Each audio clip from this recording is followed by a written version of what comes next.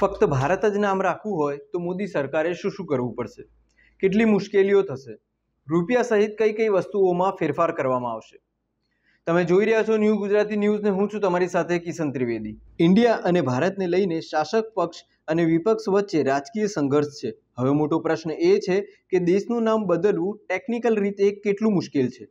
અને જો આવું થાય તો કેટલા ફેરફારો કરવા પડશે? ત્રણ ચાર દિવસ પહેલાં એક સમાચાર વાયરલ થયા હતા, જેમાં રાષ્ટ્રીય સ્વયંસેવક સંઘના વડા મોહન ભાગવતે અપીલ કરી હતી કે ઇન્ડિયાને બદલે ભારત લખવા અને બોલવાની અપીલ કરી હતી.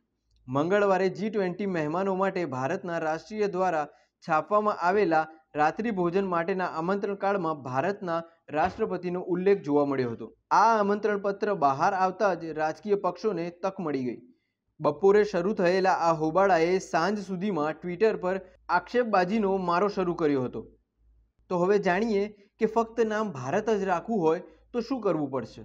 ભારતના સંદર્ભમાં સાદો અને સીધો જવાબ એ છે કે જો કેન્દ્ર સરકાર પાસે લોકસભા અને રાજ્યસભામાં સ્પષ્ટ બહુમતી હોય તો આ કાર્ય બિલકુલ મુશ્કેલ નથી. કેન્દ્ર સરકારે કેબિનેટમાંથી બિલની દરખાસ્ત મંજૂર કરીને લોકસભામાં રજૂ કરવાની હોય છે. ત્યાંથી પસાર થયા બાદ બિલ રાજ્યસભામાં જશે.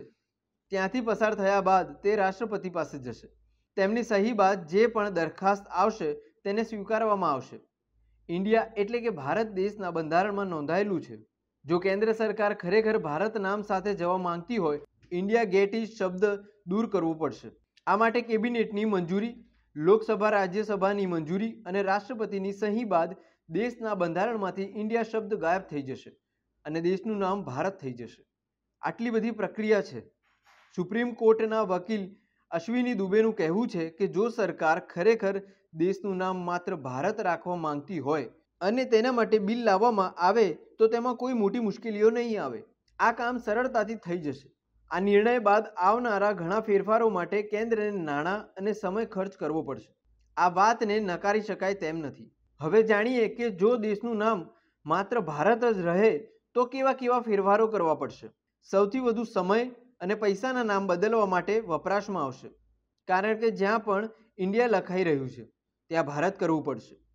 દેશની તમામ બંધારણીય સંસ્થાઓમાં ઇન્ડિયાને બદલે ભારત લખવું પડશે. ધ પ્રાઇમ મિનિસ્ટર ઓફ ઇન્ડિયાની જગ્યાએ the prime minister of Bharat લખાશે. ચીફ જસ્ટિસ ઓફ ઇન્ડિયા પણ ચીફ જસ્ટિસ ઓફ ભારતથી ઓળખાશે. ગેઝેટથી લઈને દરેક જગ્યાએ આ બદલાવ તાત્કાલિક અસરથી કરવાની જરૂર પડશે. સૌથી મોટો ફેરફાર ચલણી નોટોમાં કરવો પડશે. હવે દરેક નોટ પર ઇન્ડિયા લખેલું છે. દુનિયાભરમાં ફેલાયેલી દૂતાવાસોમાં પણ ઇન્ડિયાને બદલે ભારત કરવું પડશે. હવે ઇન્ટરનેટની દુનિયામાં ભારતની ઓળખ ડોટ ઇનથી થાય છે. આ બદલવું પડશે. મોટાભાગની સરકારી વેબસાઇટમાં જીઓવી ડોટ ઇન દેખાય છે. તેમાં પણ ફેરફાર કરવો પડશે. જો કે દરેક જરૂરી ફેરફાર માટે સમયરેખા નક્કી કરવાનું કેન્દ્ર સરકારના હાથમાં છે.